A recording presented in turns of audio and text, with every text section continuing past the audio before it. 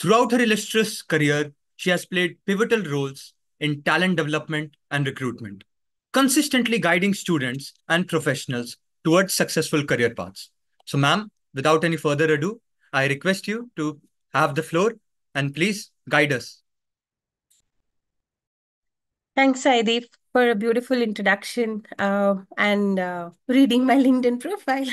so, thank you. Uh, and very well warm welcome to all of you. I know it's the end of the day uh, for most of you, but yes, trust me, I'll try and keep this more uh, informative and uh, more informational so that you we all take away something or the other from the session.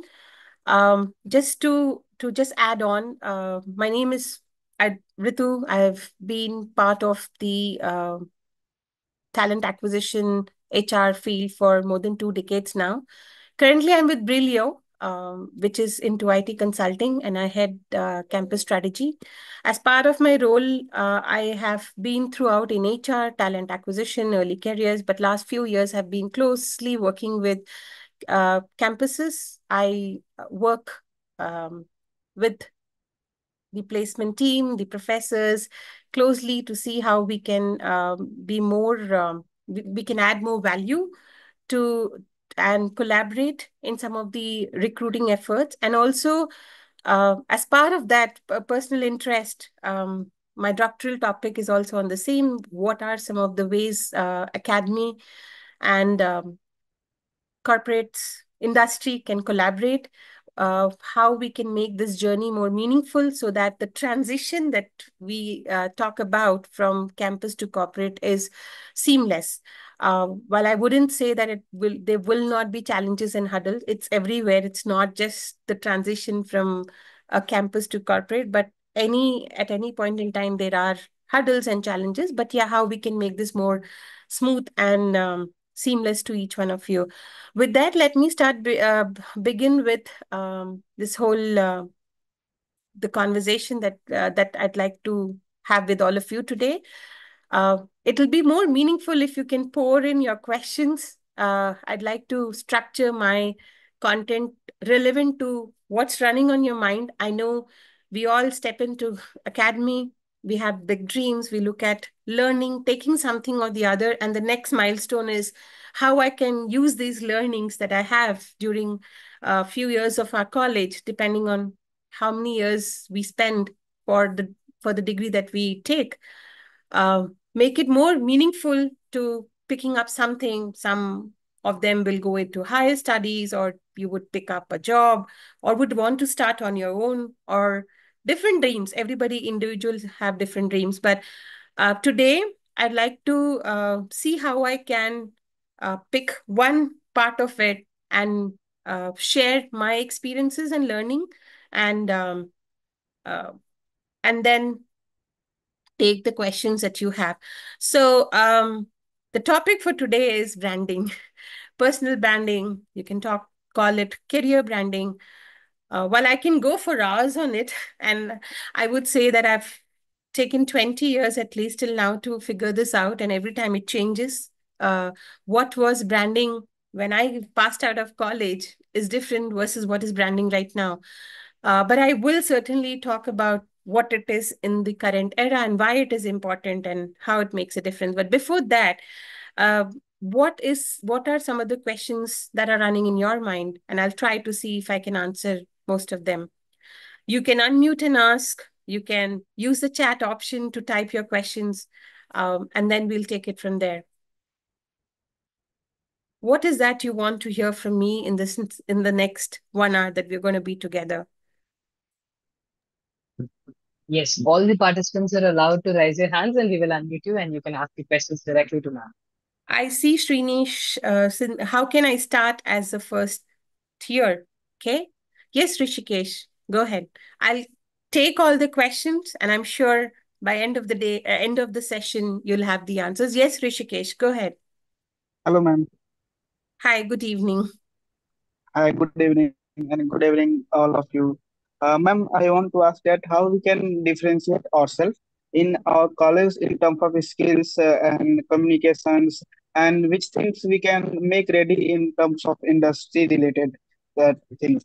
This is I want to ask you, ma'am. Basically, how I can uh, make my college uh, life more effective in terms of learning, communication skills, and how I can pay, make myself ready for industry. And what's the differentiated factor that I can, right? That Yes, that is your question? Great. Yes, ma'am. Avinash, how can I develop my profile for MBA along with uh, along with our graduation course? So I'll come to that as well. I I, I do have a short story to share that um, how life goals keep changing when it with respect to learning and with respect to um, picking up a job as well. So I'll answer that question, Avinash. Made a note of it. Yes, Devesh, Deveshu, Pathak. I see your hand raised. Yes, ma'am. Am I audible? Yes, I can hear you. First of all, thank you for taking the session. My query is that uh, when we apply for the placements during campus season, placement season on campus, we see that we might we fit uh, only 80% of the criteria for a certain company. We lack something from a, a company A, we lack something from company B.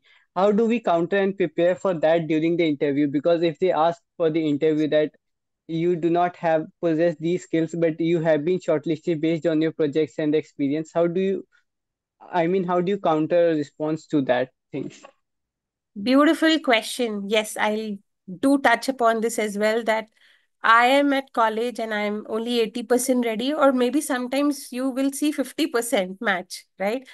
Uh, even if it can be 100 uh, or even it can be zero, but your profile has been shortlisted. And how do I uh, counter the questions during the interview and make myself fit? Yes, I will address that as well. Uh, Adya, go ahead.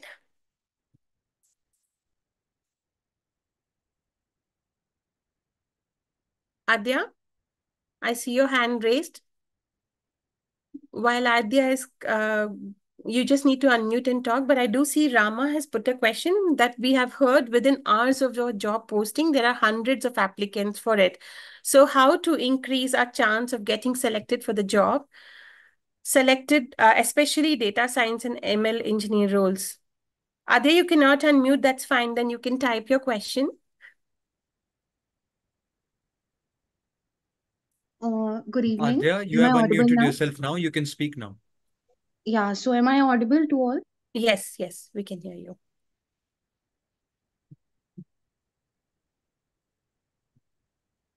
Okay, you are muted again, Adya. Uh, you could type your question in the chat. No, no worries. Uh, sorry, sorry for the inconvenience, ma'am. No Uh, problem. warm greetings from my end. Uh, ma'am, my question was, uh, as a fresher, should I juggle more for internships or should I prepare myself for, you know, for the uh, uh, jobs uh, according to the job description that's given on LinkedIn? So uh, that's my question. Great. Again, another good question that what do I do? How do I balance? Do I focus on academics or do I focus on building experiences because industry asks that or the JD on LinkedIn says the experiences? Beautiful question. Thanks for putting that, Adya. I will cover that as well. I'm just making the list of questions so that I don't miss out on important things, uh, important um, information and things that I can share. Yes, Kiha, I can see your hand raised. Ma'am, I want to ask that question that I'm doing online degree and uh, internship as well, but uh, I want to know that is it good to have an online online degree or is it better to have offline experiences? Again, great question, relevant to the current situation we are all in. Uh, uh, yes, while some of it has completely gone offline, but some of us are still working in the hybrid mode or it's still online. Um, I'll cover that bit as well, Kiha. Thank you for posting that question. So uh, with this list of questions, can we get started and then we'll take the rest of the session uh, questions toward the end of the session. Um, so yeah, let me um, now, I will touch upon the topic, but let me finish first answering these questions. Uh, so first bit, what do I do in college? Well, I may not go question by question.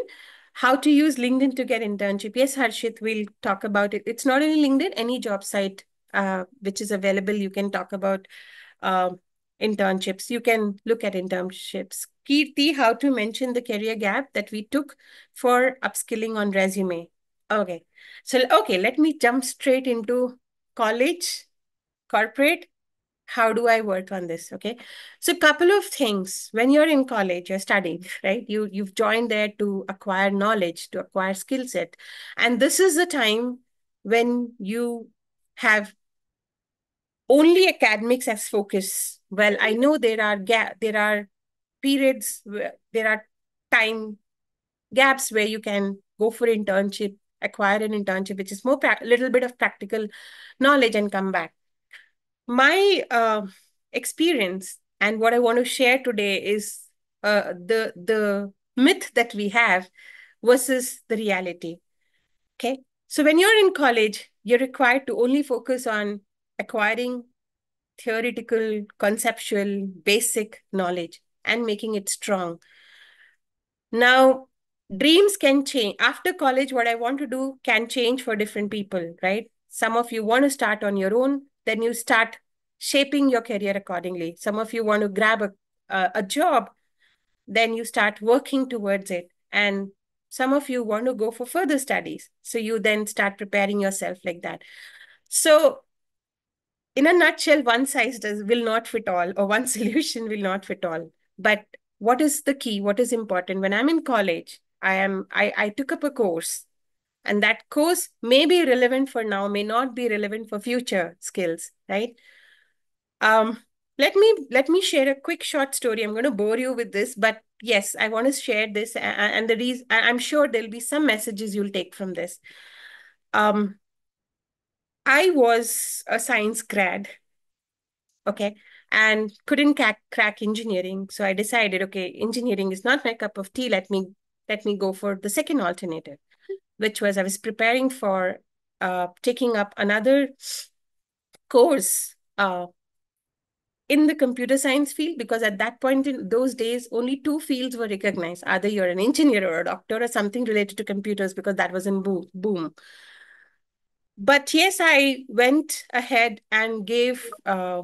an entrance for mba as well and when i gave the entrance i saw my scores being very high uh, and i was getting a non-payment seat in MBA versus MCA. Uh, the test, the entrance itself uh, was was uh, witness to what my skills are or what I'm good at, right? Versus uh, what I was trying to achieve. Um, convinced my parents to let me do an MBA, went for an MBA uh, course, and then, yes, took up HR, started my career. When I started my career, I did not get what I wanted, but I took because the company that I started was my dream company. I was doing everything under the HR umbrella along with um, operations, customer support, and HR, but I did not get a core HR role. But I because I loved the company I joined, and I took five. It took five years for me to settle and understand how an organization. Because uh, in my time, we did not have frequent internships. The only internship I had was for two months, and that was in a in a, in in a different talk. And I, honestly, I did not do much in during the internship. All I was doing was entry of um, tracking uh, records of people's attendance and exit, and making those records. It was on manual. We did we were we were not in the digital world at that time. So internship experience zero, only experience which is during MBA a lot of theoretical knowledge, figured out, joined a company, and then started to learn. What I understood was what I learned for two years is not applicable, and I had to unlearn and learn the way of doing work. Everything from how HR systems work, how operations work, how process work, and things like that. Uh, my journey started, and every every milestone that I have seen, it's an immense um, amount of learning that I had because things kept changing. The whole digital transformation, the whole new ways of doing things, technology intervention, even in HR, not only in the tech field, but even in HR, made me to upskill myself, and I'm still doing that. so, to answer your question, that if you can uh, learn make yourself 100% ready in college? Answer is no. As long as you can fix and learn some of the basics.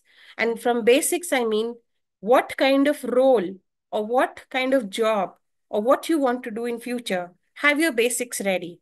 If you are applying for an IT role, for any technology IT company, then as long as your basics are strong, you're very good with maths, data structures, uh, algorithms, uh, coding, if you're applying for core product, uh, core coding development roles, as long as these basics are strong, that's absolutely fine. No company wants you to look at, you know, advanced technology. If you're applying for a data scientist role, as long as you know um, how data works, how to read data, how to analyze the data using any tool, they don't expect you to be uh, proficient with all the data tools available in the market because every company uses a different tool. And when you join as freshers, they will train you. What they look at is, are you good with your basics? Do you understand some of the basics? And do you have coding skills? And you can use any language. Even for data scientist role, they look at people who have coding, uh, understand coding as well, because some of the solution may require you to come up with some tech intervention and that may require coding skills. They don't expect a particular language, any language is fine. So if you look at any company, when they come for an interview, they as a process, they have an online assessment.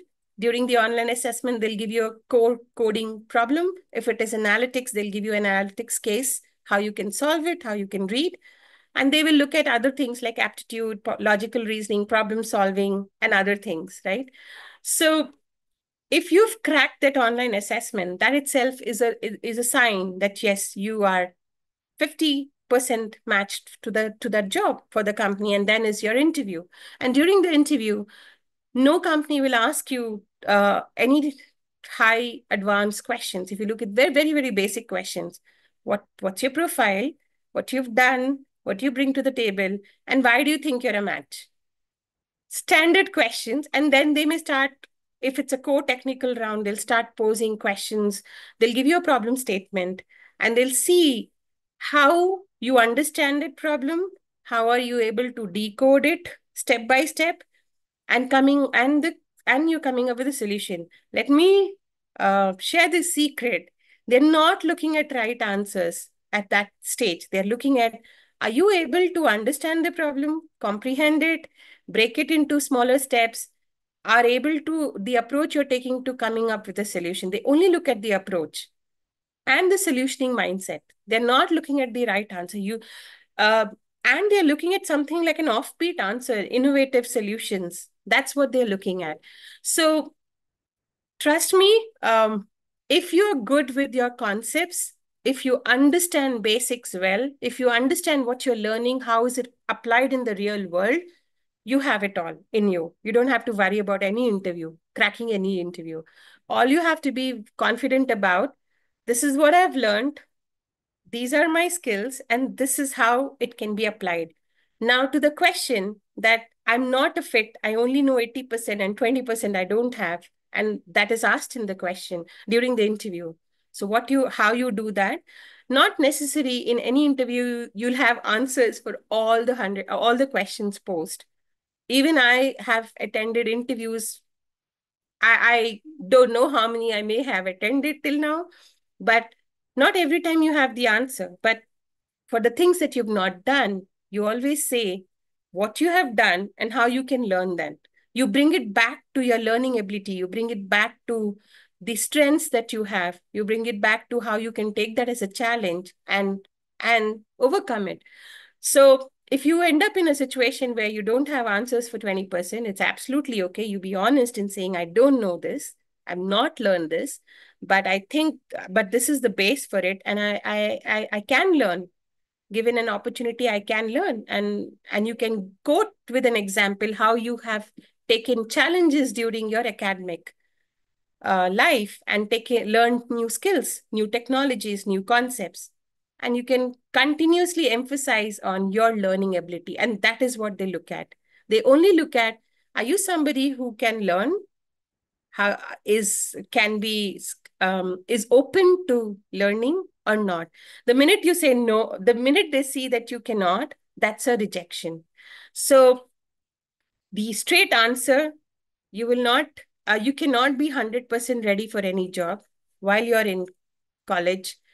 Even after experience, uh, you acquire certain experience, you only get certain skills. You only acquire certain skills and life is too long. I mean, your work life is going to be to X number of years, right? And, and especially for people who are going to be in the tech field, you have to keep upskilling. We all know how tech transformation is happening, how technologies are changing, and how new versions are coming. So you have to keep upskilling yourself. So when you see a JD, only look at uh, what exactly is the requirement and how you have how you can match to it right? How you fit into that. If there are like okay now there could be some companies who are very very specific about the skills. And if you don't have it then it's absolutely okay. Either you learn and you uh, you attend the interview or you don't have it so you don't attend the interview. That's absolutely okay. But because there'll be very very few companies who will be very specific to for for a, a particular skill or a particular experience during the interview and they are looking for that. So that's absolutely okay. If you don't have it then you're not a fit. You can try for experience and you can still say that you at least have the basic of it and you're absolutely okay to learn. And if they are okay they will hire. If they're not okay that's absolutely fine. You should take that as they had a different requirement and you're not a fit. So the, this is the um, core. So uh, Deepak had this question, does MBA job needs upskilling frequently? Uh, my dear uh, friends here, uh, future colleagues, yes, any job will require you to upskill because the way of doing things, new new versions of, uh, of tech coming in, new concepts coming in, uh, it will require not that you need to open a book and read every day. That's not the thing. But yes, depending on when a new update is coming or so I'll tell you why. What does this upskilling mean? Okay. While I'm in recruitment, okay, I have been in the recruitment industry for last 20 years, but how I do hiring for a particular company versus the other company is the same. Hiring is the same. The word, the process is the same, but the kind of profiles, the kind of colleges, where I hunted from, the tools they use, uh, the process, the uh, the interview process that they have, the selection, it's very very customized to a particular company, right? Um, and what I hire when I'm hiring for a product development company, the requirements will be different. When I'm hiring for a services org, it will be different. When I'm hiring for a consulting org, the requirements will be different. So my date, my uh, the pool, the talent pool is different, right?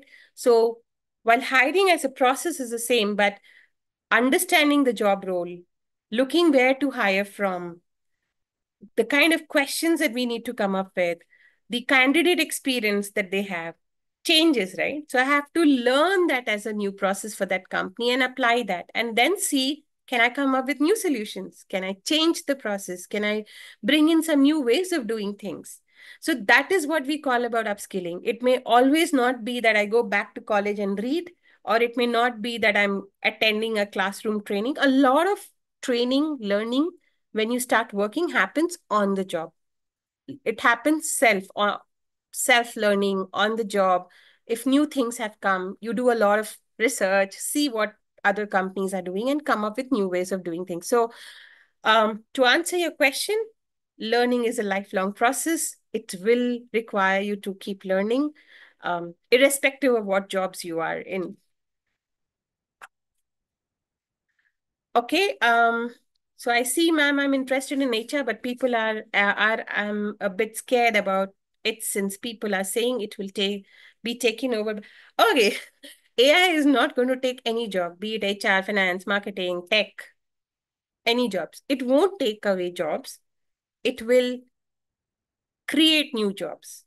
Like for example, if I tell you, um, okay, mobile is a perfect example. We are also gadget friendly, right? And now we see, had we continued to use the Nokia keypad, the first phone that came, if we would continue and and no and whoever invented that technology and were working in that domain would not adapt and learn new technologies, uh, would they be employable in the market?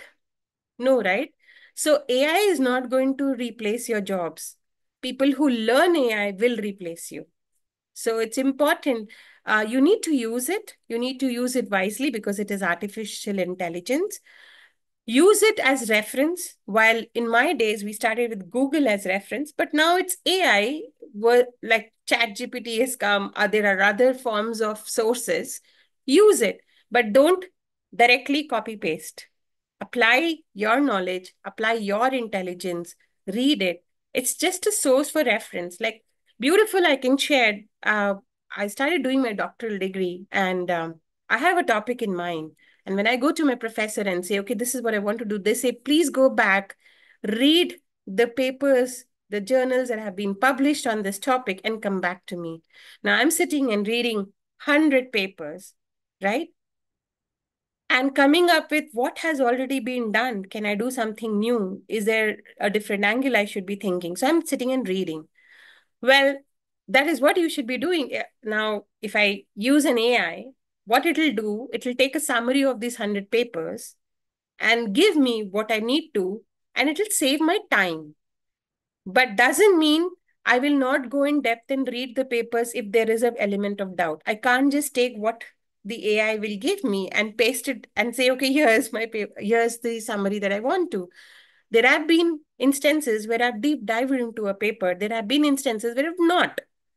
So that's the only enablement AI will do. But will it uh, will it take away the action from me of reading as a scholar? No, I need to still read. I need to still understand and I need to still write.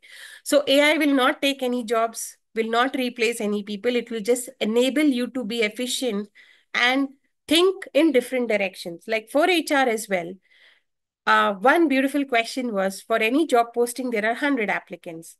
As a recruiter, if I sit and read each and every resume, it's going, one resume will take at least a quick, if I read it, if I just scan, I can do it in a in a one or two minutes. But if I read everything and understand, uh, in depth, it takes five to 10 minutes. Now and multiply that by 100, right?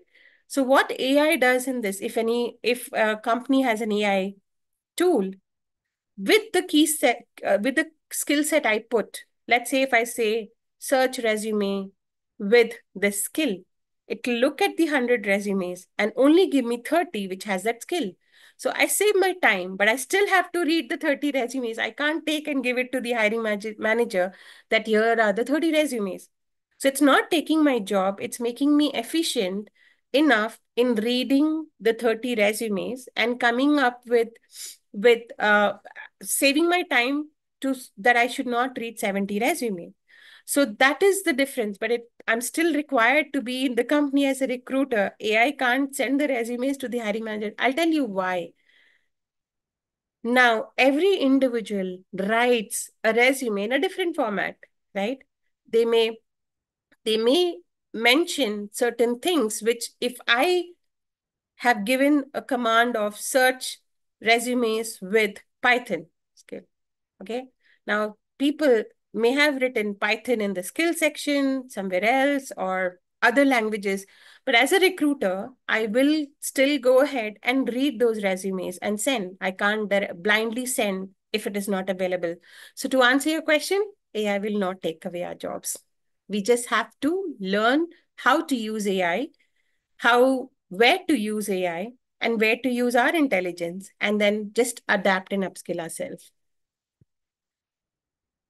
Um, hello, ma'am. I have heard that in this data science and AI/ML domain, MS and MTech grads are preferred more than undergrads. So how to outshine them and get a well-paying job? So while I know the skill is more in demand right now, uh, I wouldn't say that only postgraduates are preferred. There are a lot of companies who only hire graduates. Undergrad, uh, the undergrads and hiring needs are changing. So I don't think you should worry about that, that I should, well, it's always good to acquire the highest qualification, which is good. Do not jump into getting into jobs because when you start, um, the focus to academics changes. But if you feel that no, I want to study till till graduation, get some experience, and then do post graduation, perfectly fine. But if you feel no, I want to complete post graduation and then take a job, perfectly fine. So here I cannot say that this is right or that is, that is right. It all depends on individual. Like for me as well, I wanted to complete post graduation and that then get into a job, and I did that. But trust me, at that time I also wanted to do my doctoral uh, doctoral degree, but I couldn't. And it's now that I have started. So I'll tell you once you get into the job, uh, getting into a professional course which requires transitioning back to academics and then uh, spending X number of uh, years is a little tricky situation, gets difficult, but that trend has changed. If you look at, there are a lot of, uh, if you look, uh, if not tech, but you never know when you start working, your interest gets into a non-tech profile and most some of them get into a management course. It's absolutely fine. You worked for two years three years and then get into a management course. Absolutely fine. But that's an individual uh, career path. Uh, nothing is right or wrong. Uh, what you should do is understand and define what are your goals. What is that you want and what you want to chase.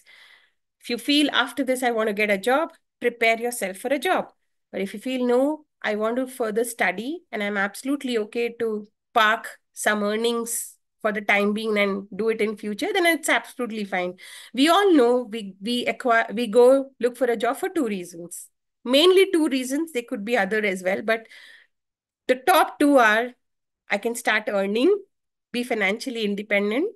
Second, I want to acquire some um, knowledge, experience and then see what suits me or what my interests are. So it's absolutely okay. These two, any you could pick any one of this. If you want to earn first, then get into then start preparing yourself for a job. Take that and then start um, working. And you never know you continue working or you would want to shift. That depends on what kind of jobs you land up, what your interest is, and what your uh, personal life situations are, right? That's one. Second, um, if you feel no, I uh, want to gather some experience two years in my mind, then I will look at what I need to do. I want to continue for uh, MTech or an MBA. That that's also absolutely fine. But that uh, I'm not the right person to tell you what is right or wrong. All of this works. You can continue working. You can continue studying working and then get back to to doing a master's degree and then get back to industry that's absolutely fine. I'm doing it now if you look at after 20 years so that that's what i'm saying there's nothing right or wrong. You can always get back to learning and then come back to corporate uh, working but you need to define that and and uh, take those decisions. So um now let me quickly um share what i have uh, yes, Adya, elab elaborate ATS friendly resume. So I'll come to that. That's what my topic is all about. So let me now quickly jump over to the slides that I have. Most of it will get addressed with that. And then I'll take the questions towards the end of the session. So I'm quickly sharing the screen. Let me know when my screen is visible to all of you. Is my screen visible? No, ma'am, it is yet to be visible. Okay. One second, what did I do? Did I oh, share screen? Okay. Is it visible now? Yes, it is. Okay, great. All right. Um, I can skip this. We've already done the welcome part. So the important part about how do I prepare for questions, uh, for interviews, uh, but it's just not cracking interviews, but how do I create a brand for myself? And that's way long. It's not only for now, but for future as well. So why it matters, what it is, and some of the things. But before that, I do want to quote something, and I'm sure you must have heard this. This is a beautiful book that I've uh, read. I see uh, Sundaresh laughing. Did you read this book, uh, or you happen to hear this, Kartik? I have I have heard about it, ma'am. I'm yet to read it. I have it oh, yeah. in my home. It is a beautiful book. You all should read.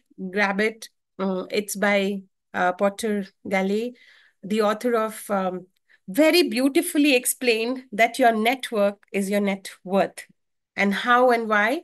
Uh, I won't read everything from this. You can read while I'm talking, but um, very important thing here is that I want to highlight is the last part of it. You know, um, what exactly it means is it's not so we're all in this whole era of social media. We like to have an account. We like to have followers irrespective of what platform we are. But what are we doing out of it? Why are we getting why are we actually building a network? That is more important. How we can leverage that for some meaningful connections for for either knowledge sharing for either knowledge, uh, knowledge transformation or exchange or even for making making a career by so uh, he clearly very very clearly explained that the ability to define and stay true true to your passions and value will define the network you have and the net worth you get through it. So that is what um, i want to start with that. Trust me it is whenever we start networking with people uh, there is a reason. There should be a reason. And the reason should be meaningful for each one of us right? Especially in the professional setup personal as well. But yeah professional setup it is very very important to see the relationships that we are building and how we can uh, use those relationships for for meaningful connections and collaborations to learn or to give it can also be you know that you know something and you're sharing it with the other person and how we can make it meaningful with respect to getting a job as well. It helps. Mentorship many reasons many such things. But let me tell you another story okay? My first job and i was a hard worker okay? I did put in a lot of efforts and i was working. I had my first discussion with my manager every company has an appraisal system, right? Like we have exams in college. Companies have appraisal system. So they see how you are as a worker, what is the rating we give you, like a score you get. And based on that, you get a promotion or a hike or other things that gets discussed. So when I had my first discussion with my manager and he said, I was all up that, yeah, I'm going to get a good rating and he's going to move me up into the next grade. And he told me, why should I do that? And I had list of things that I want I wanted to share with I shared with him. And he said, "Yeah, I know that. Does anybody else know it?" And that's when I understood why branding why talking we all think oh i shouldn't be talking about myself. My work speaks for it. Why should i do that? But that day i understood. And he told me this brand yourself or market yourself as if you would do a product. And you are an mba grad especially um, marketing students do that, right? You brand a product, right? So it's individual personal branding is also as important. And that's when he made me understand why you should start branding yourself, your work, connecting with people, letting them know what you're doing, contribute, talk when it is required, share ideas, share knowledge, and let everybody know. Everybody means the world when you're working in in in office in your company or in college the rest of them. Or now we have social media platforms. So use them wisely to let people know what you stand as a brand. So that was one um, piece of uh, learning for me that why it is important for me to know uh, to start branding myself. Now i'll tell you why. The other side of it. If he would have given me a promotion there could be a, any other so there are different teams, right? Different managers. There, there are leaders in the organization. They come and oppose. Why have you promoted this person? Is there some favoritism you have, or do you? Is there anything else? And they start questioning. But if somebody else out of my team, my own manager, knows about my work, they won't question. Nobody will question. Even your team member will not question. They know you because you've done good work already. And you and that's when your work speaks, when you start branding yourself. So branding is not required only to get a personal branding is not required only for the first job, but also it will help you be successful, be be known for what you are in the industry, in your work life, in your personal life, and and um and, and people speak about it. So moving on to why the question, there were uh, there were some questions in the chat. What's the differentiator, right? So branding is required so that you create that differentiator for yourself. It gives you the confidence. It helps you uh, with network building, professional opportunities, and it's your narrative. It cannot be same as somebody who's next to you. Like within in this in this class today, we uh, session today, we are 70 plus, right? We're 90 plus now. How am I different from my friend? Though we are all same, right? From an educational background, we are all in doing our graduation. From uh, the course, we're all same. But what's my differentiator? What's my narrative? What what am I for? That is personal branding, and that will only come with your own story you can only create it, nobody else can. While the resume may look same for everybody, it could be that both of you have, uh, two of you or more of, or some of you must, must have done internship in the same company, but experiences, learning, your skill set, your strengths are yours. It cannot be copied. So that is why personal branding is very, very important. Moving on, some of the key elements, right? First, it starts from self assessment. You should know yourself better. It starts from who am I, what my interests are, how I, uh, what are my strengths, and what are my areas of opportunity. And so, this kind of self assessment, nobody can do for you. Even uh, best of the counselors cannot do for you. It comes from you, it comes from within that what I am good at, what I can do, what I have learned is my story. So start crafting that, then create your email, that then create your message, basically. Have an online presence. We all know the professional um, tool is LinkedIn, but you can have in other uh, other platforms as well, which is Insta, your own page, anything. So as long as you have an online presence, it's absolutely fine. No company looks as only this or that, but yeah, have a presence required. Create a resume. I'll come to it how. Cover letter, yes, required.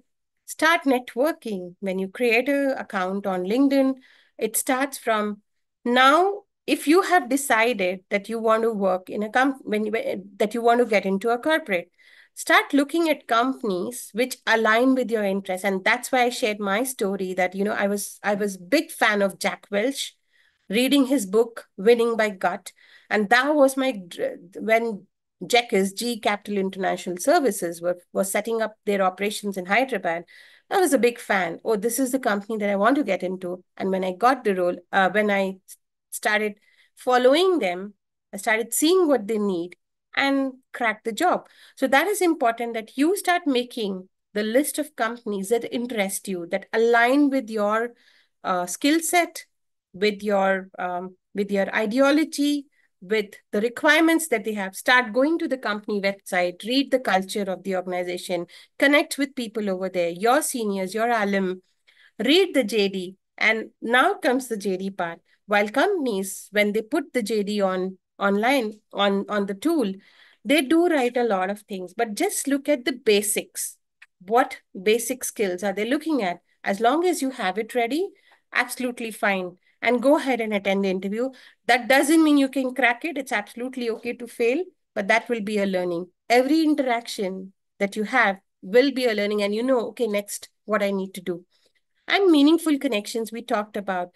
When you connect with somebody on LinkedIn or any other social media platform, or even personally, it can be offline as uh, offline as well.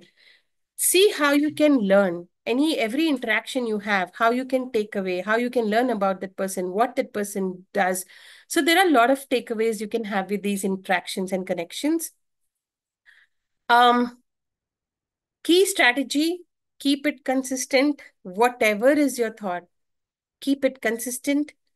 Have that visibility. Communication skills, somebody talked about. Yes, communication skills are important because if I keep quiet for an hour now, none of you will be able to understand what I say, right? I have to speak. I have to speak my heart out. I have to be genuine. And just talking what I know. So that is communication skills. Trust me, there's nothing else. I did not prepare for this. The only thing preparation I did was um, structuring my thoughts and sharing my my experiences, and that's communication skills. As long as you can understand what your what the what the front person is asking or talking about, you can comprehend it, reply back. That is communication skills. You don't need, so communication skills is not beautiful English. We're not authors, we're not writing. Well, you can do that. But what I'm talking about that in any discussion, any conversation, or even during the interview, as long as you can understand the question, reply back, and share your story, that's enough. And that comes with preparation. It's absolute, and you you can start preparing and can start writing the for each and everything, for each and every question. By now, we all know everything is out, the kind of questions they ask and how to prepare. So you just need to structure, but be genuine because whatever you write in your resume, whatever you're preparing, they can pose another question, following follow-up question. So be genuine and share what you know and be honest. If you don't know, you don't know. If you know, you answer. And if you don't know, you always say that I can learn it and this is how I can. Don't say I don't know straight, right? There was a question on uh, asked on um, wait, I'm forgetting the question. It was there in my mind. Um, it was related to interview questions only. Okay, when I get it, I'll tell tell tell that. Um, continuous improvement. Why I put that that as one strategy. Every um, person you talk to, be open to taking feedback be open to taking failures, right? With that, you learn what did not work out. With that, you start learning, right? And then you start preparing. Uh, storytelling, very, very important bit. Um, that catches people's interest. It keeps it alive. When I mean storytelling, it's not that always for every answer I tell a story, but you can always start with um, what you know what you bring to the table, and how you have acquired that skill, the impact, the learning that you've had, and the impact that it has created. So just structure this in the form of a story, and then you can answer. Uh, let it not be a straight yes, no during the interview process. Let it not be, um, I don't know. It can be that I've not learned this, but I have some of these skills and I have these, these are my strengths and I can learn this. Another question was, oh, you, now I remember the question, gaps, right? Yes, we all, um, so I have, I worked till 2014. I took a three-year career break for family reasons. Um, and then I came back in industry in 2017. I had a reason and I was, I'm absolutely okay when anybody asks me, why do you have this break? I tell them this break is for this reason. So state the state honest reason. If you have taken a break for preparing for further studies, absolutely okay. You can always say that you took a break and this is the reason why you took. It could be personal reasons. It could be for preparing for for for, for um, a right uh, college a right course to get those kind of to clear the entrance. It's absolutely okay. Whatever reason you've taken the break explain that in the same way. You don't have to sugarcoat. You don't have to um, go in depth but very strategically high level this is the reason why you took. They could ask why again you can always explain that at that point in time this was a that was important and that was priority and that was a need. So that is the reason i took. So having breaks is absolutely okay. Honest answers. I if you don't know something you don't know. It's absolutely okay to admit that i don't know but don't try to at the on the spot think and give some or the other answer because you get caught there. Um, to answer somebody's question that will MBA job also require learning? Uh, trust me, it's a lifelong learning process. We are all learning from each action, from each process, from each individual, from each interaction. We're all learning. So yes, and seek mentors that can help you guide and uh, take this forward. Some of the don'ts I've already told, but yeah, leaving to all of you, do not um, try to be inauthentic. Uh, do not ignore your online presence. People are watching. The first thing people do is go on LinkedIn and start seeing the kind of comments you post, the kind of um, posts that you're doing, your likes, your dislikes, and things like that. So it's it's a world of social media. We're all uh, we're all present, open. It's an open source for everybody. So be be watchful of how you're try what kind of brand you're building for yourself or how you want people to perceive you. So it's very important. Uh, they could be personal accounts. There you can be yourself, but at least professional, which is accessible and it's is for the professional setup. Let's try to keep that professionalism intact. Inconsistency, not not a good um, not a good sign. Don't try to overly promote yourself. So strike a balance between um, overselling yourself, be genuine in what you've done and what you've acquired and how you've you will add a value. There will be some feedbacks, admit it, take the feedbacks, and don't be impatient. So, okay, let me now bring in some bit of um, how LinkedIn can help. Some of it here, um, create a profile, a, a nice photograph uh, that you could uh, use, add everything that you need to, put your keywords. There's a summary section, put that. Uh, headlines catch attention. So you can you can see there are catchy headlines that people put. You can start using that. Um, try to start engaging with people on content. If you see there is something interesting, you can like, add comments, avoid negative comments. uh, not a platform because it's social public, right? Uh, we never know how it may harm somebody. So do, do not oppose, uh, do not add a lot of negative content that can be one-to-one personally done within if you have if you contradict with anything you can message that person and say here are my views but try to be politically correct important. Uh, there are industry influencers you can see how they do things and and uh, it helps. Um, your job search if you're looking let your let people know that you're looking linkedin uh, allows you to you know open to work and the kind of work that you're looking for. So you can use that.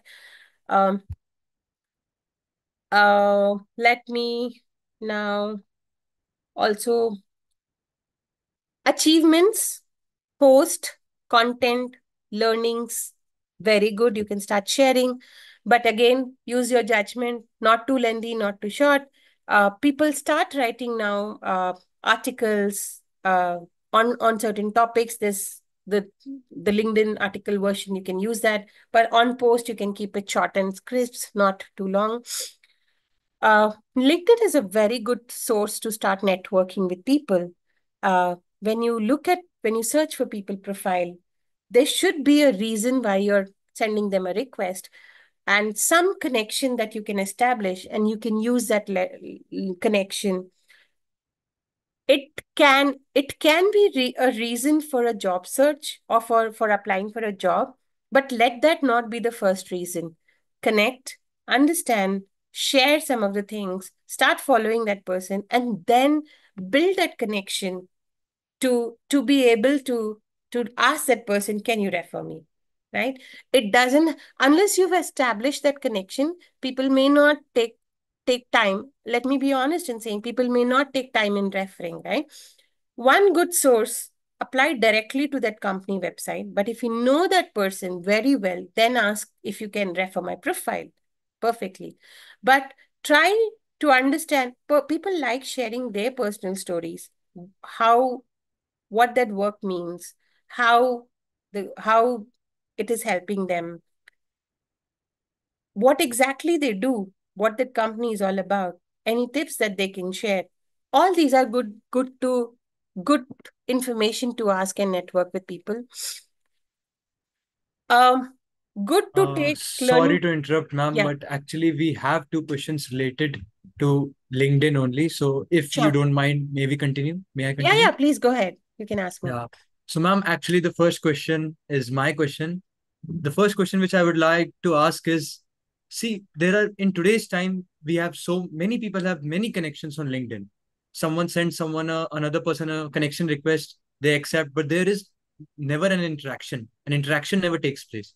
So, while I'm sending a connection request, should I also, you know, uh, type an introductory message or something like that so that we form a friendly friendly and engaging interaction to start with so that later when i want to utilize that connection you know he would think of me as a friend and not just another person on linkedin so that's my question Beautiful thing. Yes, you can. Uh, a short, you know, reason for sending that connection and how you, what are you looking for from that connection? And as you rightly said, it's not just that you want to add that person in your network, but you are looking at a meaningful connection and uh, future collaboration or future um, partnership as well, friendly and and learning. So yes, you can, you should, and uh, like you rightly said, I mean, we we have even my LinkedIn profile may have like 20,000 20, plus, but do I interact with everybody? No.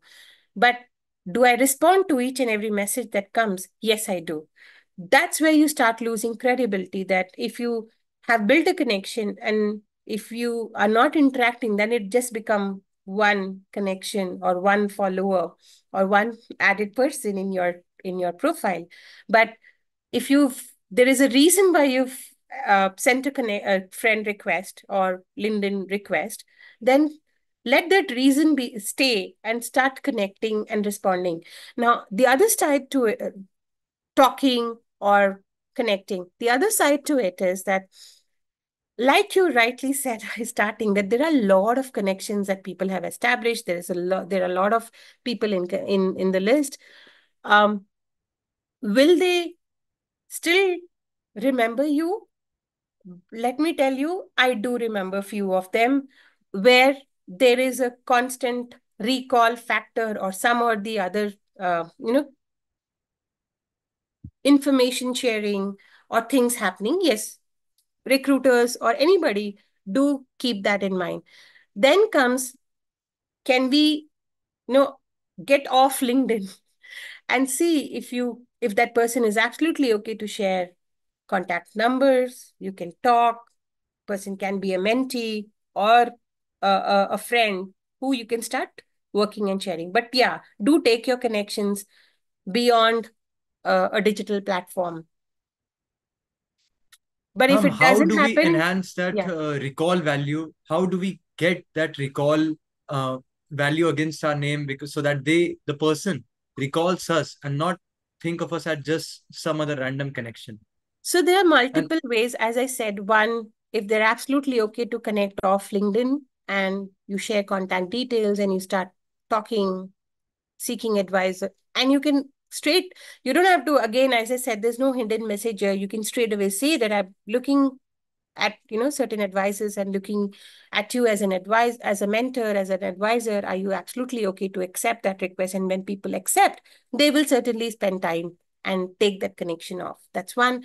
Second, if it is taking time and you really, really, um, so there are a few connections. You may not even have conversation, but at least you can follow those people and see, learn some of the things from what they do, what kind of, you know, um, some of the times, like I do have few industry leaders who I follow and I see the kind of messages, the way, the kind of posts they do, what they are, what are their activities, how they are, um, uh, how they add value, and I learn. So some pro, some connections are where you just follow them and you learn from what they have built for themselves. Some connections are where you have interactions and some may just be there. So how you can have the recall factor is by taking it to the next level of exchanging messages, the, the message feature, can share contacts. Third, follow the person, see the post, put some comments, likes. Don't, don't just hit a like because you want to like, but if it makes sense, hit a like, you can write um, few lines. And that's how you start building, you know, um, the connection. Uh, these are the only ways. There's no other way. But be direct. If there is some ask that you have, be direct. You can ask uh, the reason why you've sent the connection. It's important.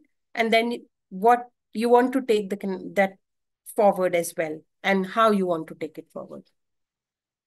Understood, ma'am. And thank you so much for answering that question. The next question related to LinkedIn, which we have is whenever it is from Nitish Shukla, whenever I appear for an interview, can I ask the interviewer to connect on LinkedIn? So, um, again, a little tricky, not um, when when a company is on campus and you know who is the interviewer, you you can go see their profiles. And if you send a request, if they accept, perfect. If they don't, don't be disheartened. But there's no right or wrong. You can absolutely go look at the company, the person who's coming for the interview, the company that is coming, the HR. You can look at their profiles. You can send them a request. This is absolutely okay. Well, let me also explain. There are some people who who are okay with this kind of uh, connection there could be some people who may not uh, mix that because uh, they still don't know if you will be a potential uh, select or not. And they would want to keep it professional so they may not accept the request till they have made an offer to you and then they may start connecting. So but it is absolutely okay. I, I wouldn't say it is right or wrong. Um, you shouldn't be thinking so much. If you feel that you've seen that profile there is some connection you'd like to establish uh, go ahead and do it. But at least what I know uh, of recruiters are okay. Um, some of the um, hiring managers, which is technical people, would like to still keep that boundary um, and may not accept. But but you should be okay too for that as well. I hope I've answered your question. Yes, ma'am. That was a wonderful answer. Even I had to know an answer to that question. Thank you, ma'am. Okay, uh, we'll move to the next one and you can still continue. ATS, how do I make my resume ATS friendly? Okay, while there are a lot of apps that have come up which will tell you what is your resume score, ATS resume score. Um, I wouldn't say this which is right, which is wrong, but as a recruiter, I'm sharing the other side of it all you have to look at is do not make it um, very funky, colorful. Let it still be, it's a resume. So keep your standard format. Stick to certain fonts. This is very important. Some of the ATS uh, AIs that are built are not, um, do not read all the fonts, right? So we have to be very careful. We don't pay attention to this, but stick to the standard font. Simple formatting, do not add any uh, complex colors, designs. I'm sure every college has, and they have done the due diligence of giving you a format. So stick to it best. You know, keep that uh, layout. No too many graphics, not too many tables, so that it confuses the ATS tool. Use your keywords. So you have to tailor your resume as per the job description. Now, what that means is when you see a company and they share the JD, uh, job description, um, and if they have asked for four skills and you have all the four skills, highlight that, put it. If you have more, absolutely fine. But what it does not mean that if you don't have, but I'm still putting because I want to fit for that job because you may clear the ATS selection process, but you will not clear the interview. So do not do that. Only if you have it, put that skill and apply. You may have to tweak your resume based on the job description because sometimes um, there, there are certain specifications that they have, which is a requirement. And if you have that, tailor it as per the company. Like for example, if a company is asking for Tableau, put that. If a another company is asking for for Python, and if you know that, put that. So it doesn't mean for the first company I put Python and not put Tableau. Or if I don't know, I put it. That's not the answer. Tailor me, just modify it accordingly where it's a good fit for as per the JD. Also look for the softer aspects. It's not just technical skills. They also mention some soft skills, softer aspects. Pay attention to that because that's the requirement. And you will be interviewed on softer aspects as well. Like, for example, they need problem solving skills. So you will see during the interview, they'll throw a problem and they'll ask you to, you know, solve it. So very, very important, pay attention to those softer skills as well. Avoid your headers and footer, footers, it confuses. And uh, bullet points, it helps. Use them for, you know, which is easily readable. Do not put any different kind of bullet points. This is basic while, um, and, and this should be good enough. You don't need to uh, use anything else. Your resume should only talk about the personal front, which is personal details, which is on top. Do not use a lot of space for the personal details. Then comes your objective. It's just two or three lines, not or summary, but not two text, a big text again. Education, important.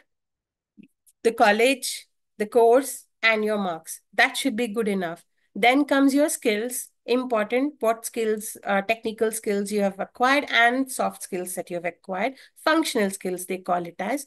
Then comes your project and achievements. Do not miss on highlighting your achievements as well.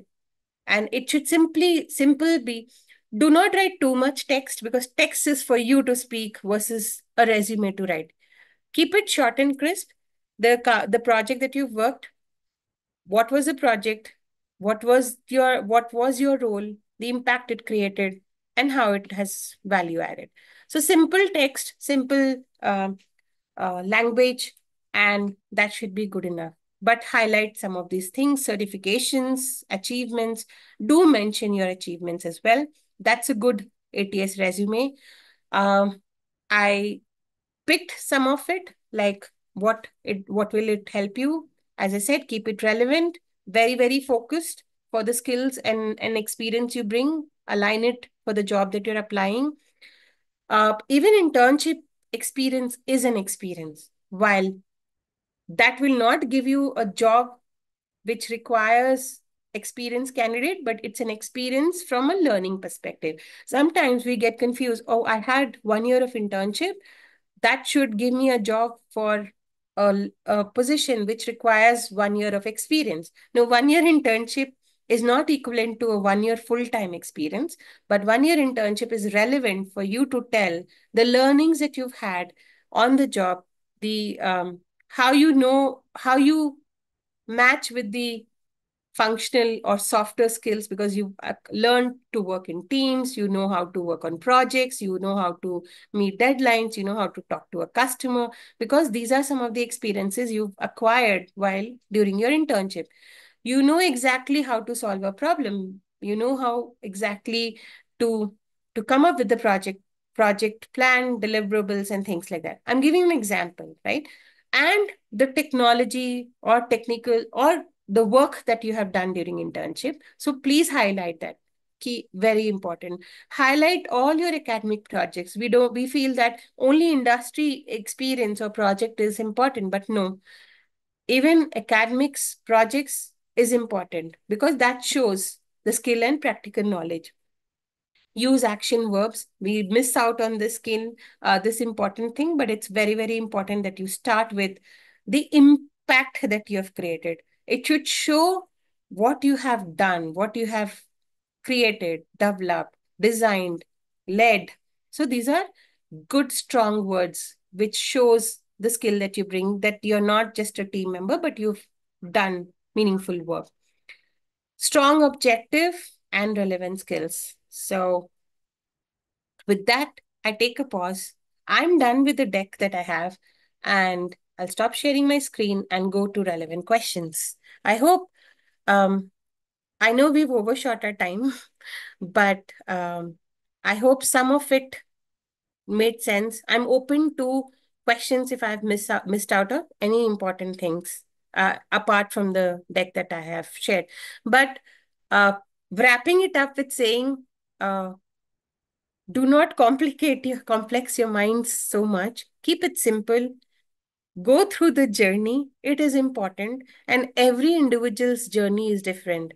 So go through it. Don't be in a rush that I need to know everything. You cannot. Even if you are 100% ready, the minute you join a company, the technology may change. The requirement may change. They may put you into another role and expect you to learn something new.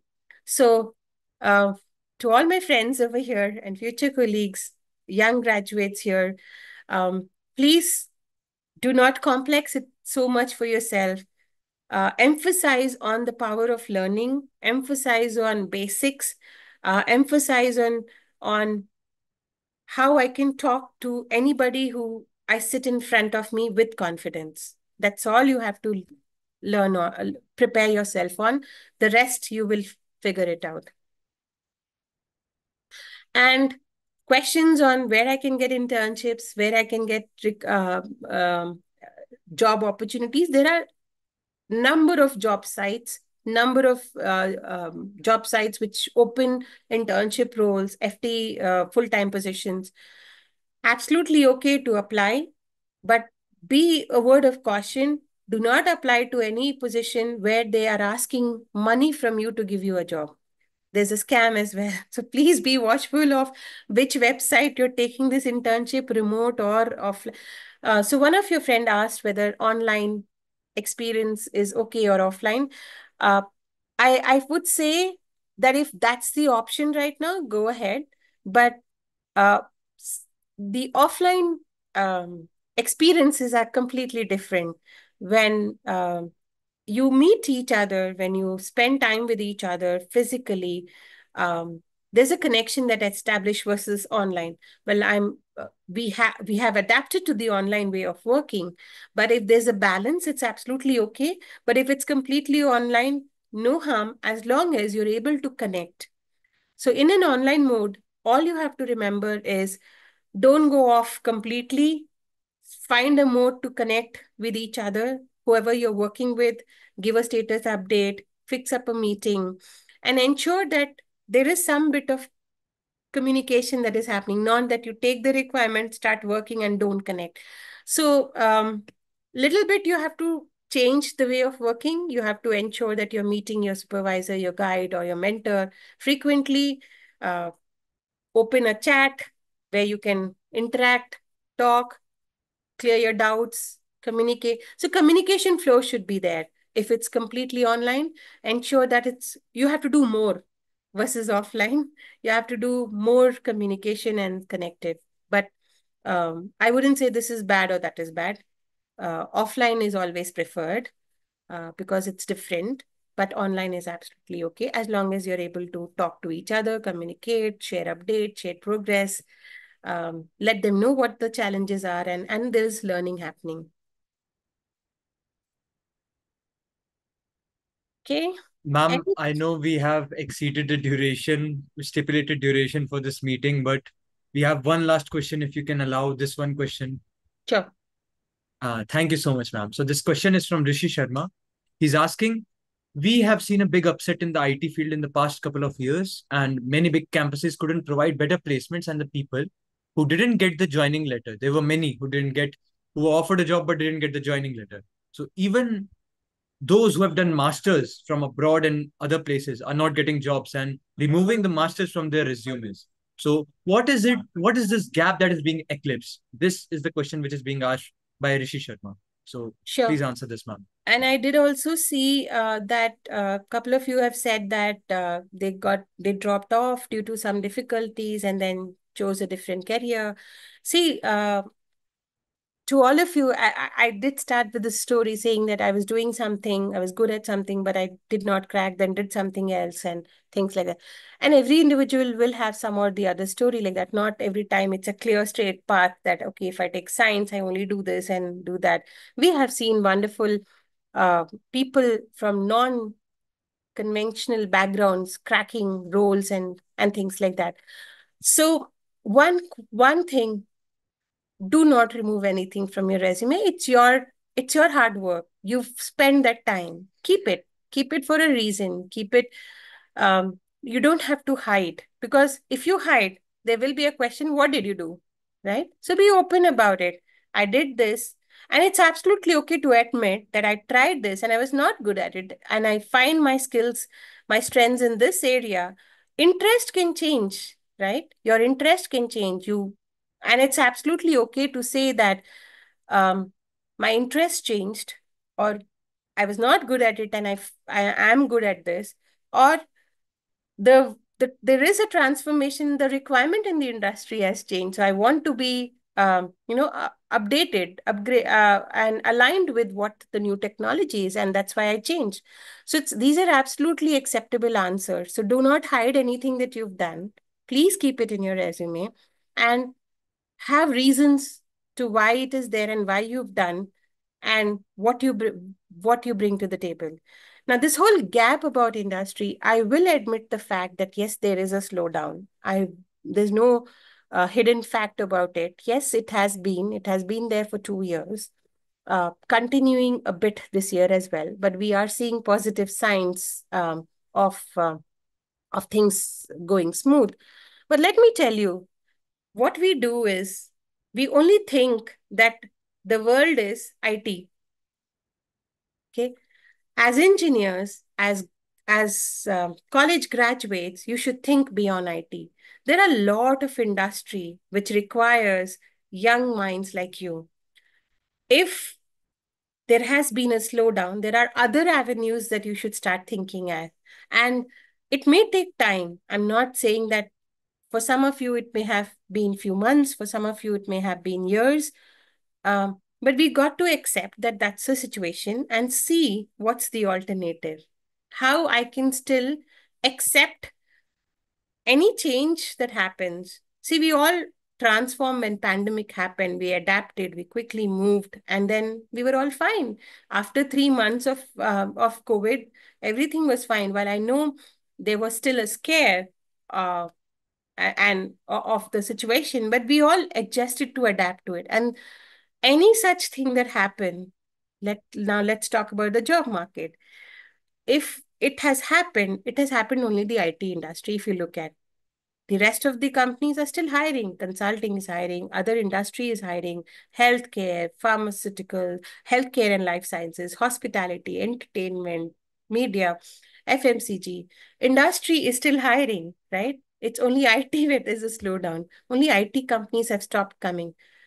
Uh, do you agree or no? I'm sure you all know. It's only this industry because, and that is because of um, when there's a slowdown, uh, when there's a rapid growth, companies invest in uh, in growing, in people, in adapting to new ways of doing, technology, transformation, all that happens.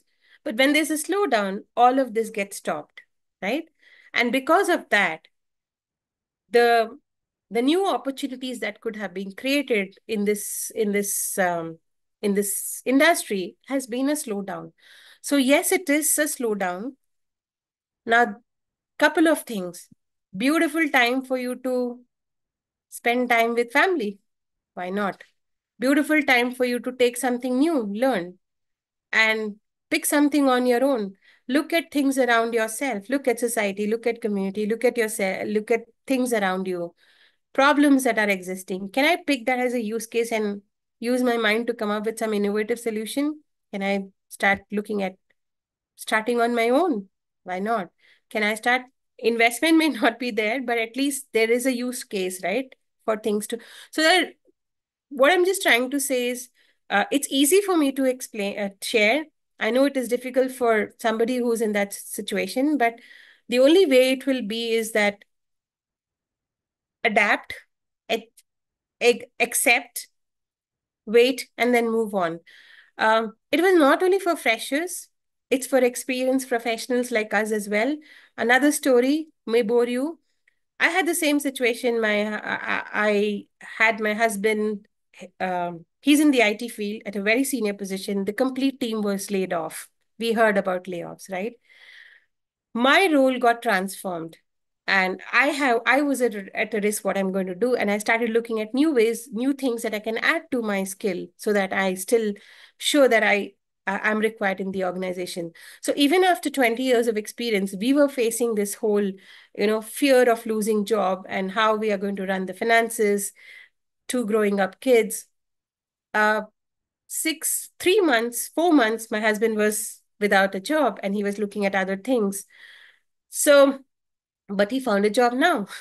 So it's all about hold, wait, accept, things will move on. Just have that dedication, be confident, don't lose your hopes, and continue investing that gap that you have in something meaningful. Look at alternate career paths. Now, let me tell you another story. Uh, I was always passionate about teaching, and I've always been into that and never got a chance. The whole uh, uncertainty in the job market and corporate made me feel this is a good time. Why don't I enroll into a doctoral degree and move into academics because that field is never going to die. So I'm creating an alternative career path for me that if anything happens here, at least I have a second option. Maybe a personal story, but I thought it's relevant that start looking at alternatives, right? And keep yourself ready so that anything happens. So there should be always be plan B. If plan A doesn't work, plan B will. Okay, uh, uh, any other questions? I'll be happy. Well, ma'am, unfortunately, due to time constraint, we sure. will not be able to have more questions. But that was a wonderful session. On behalf of the entire Student Placement Council, I would like to extend our heartfelt thanks to you, Ritu ma'am, for this highly informative session. I think a lot of our students will benefit from the knowledge that you shared with us. Also, when you, a person who is from an HR background, reassure the students that AI won't take away their jobs, trust me, it really means a lot. Even I was scared. We get a lot of questions on this topic, and I'm glad that you cleared this doubt from the minds of our students. Also, the anecdote which you shared with us on the topic about why marketing our own self is important and is very useful. That that idea and that anecdote I found very useful and practical. It personally helped me a lot because I myself believe, or at least used to believe, that my work will speak for itself. Why do I need to show it to everyone else? Now I have understood from your anecdote that we need to make the world aware of our contributions, not to show off, but to make them aware that we did this. One more thing which I didn't know was that the ATS system doesn't understand all the fonts and styles. So that was another takeaway from this session. Overall, I hope we all gained a lot of knowledge from this session, and I'm sure all our students really appreciate that. Thank you once again, ma'am, for guiding us. With this, I would like to conclude today's session. Uh, today's session. We really appreciate all the students who joined the session. Uh, good night, ma'am. Good night to everyone else. Thank you so much for joining. Thank you all for patiently listening. Thank you, uh, team Thank and you, team Madras, uh, to have me here.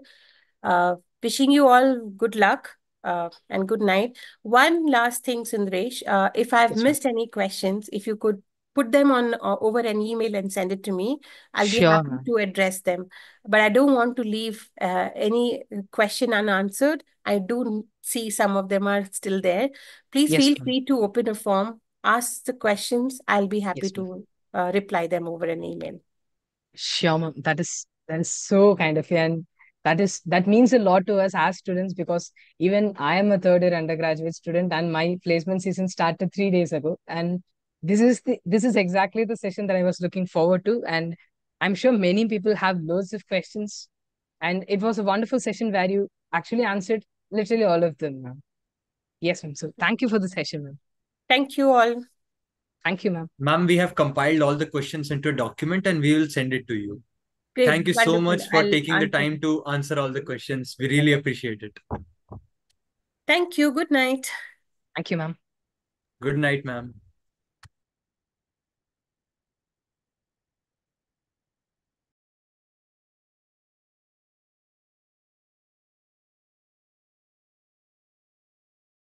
Uh, sir, we can end the session, sir, and we can also end the live stream.